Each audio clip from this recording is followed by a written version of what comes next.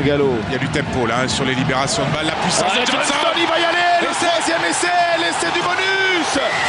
David Scrella qui récupère le ballon et qui va pas sauter millimétré. Alerte cette chute Johnson qui vient dans l'intervalle entre Gentil et son demi d'ouverture François Traduc et la puissance du Samoan inarrêtable.